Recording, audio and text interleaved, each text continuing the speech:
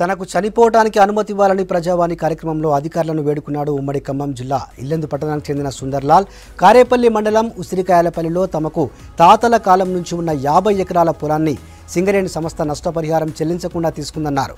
తన చుట్టుపక్కల ఉన్న రైతులందరికీ పరిహారం ఇచ్చి తనకు మాత్రం ఇవ్వలేదన్నారు. నాలుగేళ్ళుగా అధికారుల చుట్టూ తిరుగుతున్నా న్యాయం జరగడం లేదని ఆవేదన వ్యక్తం చేశాడు. తను చనిపోవటానికి పర్మిషన్ ఇవ్వాలని కోరాడు సుందర్లాల్. నా భూమి సుమారు యాభై ఎకరాలు. సంవత్సరానికి నూట యాభై బస్తాలు ధాన్యం పండించే రైతు అంటే సింగరేణి సంస్థ మా దగ్గరకు వచ్చి తీయని మాటలు చెప్పి మా భూమిని మాత్రాన తీసుకున్నారు సార్.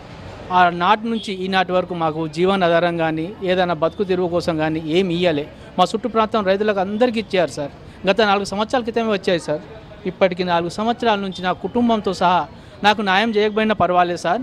కనీసం మరణించడానికైనా అనుమతిని ఇస్తే సంతోషంగా చనిపోతాను సార్. పిట్ట సార్ తన పాన పిల్లని కాపాడుకోవడానికి ఎంత పెద్ద పామునైనా పోరాడి చచ్చిపోతారు సార్. ఆ సొంటి ఇవాళ నా బతుకైంది సార్. ఇప్పుడు నాకు వెనకాల ఉన్న నా పిల్లలకు నేను చదివియలేక ఏం చేయలేక వేరే వేరే ఉద్యోగాలకు ఈ రోజులలో కూడా జీతాలకు పెట్టే పరిస్థితి సార్ నాది. యాభై ఎకరాలు భూమి పోగొట్టుకున్న సార్ నేను. ఇక నేను బతకాలనా? సావాలనా? ఇప్పటికి నాలుగు సంవత్సరాల నుంచి ఈ కలెక్టర్ ఆఫీస్ చుట్టూ తిరిగి తిరిగి తిరిగి తిరిగి నాకు అయితే ఓపిక లేదు సార్ ఇక. న్యాయం చేయకపోయినా పర్వాలేదు సార్. చచ్చిపో ఒక మాట కలెక్టర్ సార్ చెప్తే సార్